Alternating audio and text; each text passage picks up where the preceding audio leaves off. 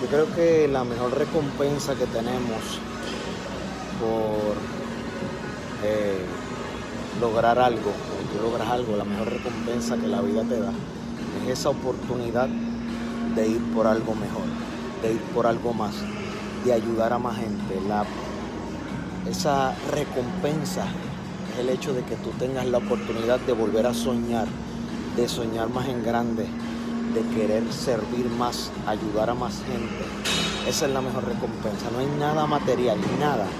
Yo no estoy diciendo que las cosas materiales no son importantes, claro que lo son, claro que lo son. Necesitamos dinero, eh, las cosas buenas son, son buenas, punto.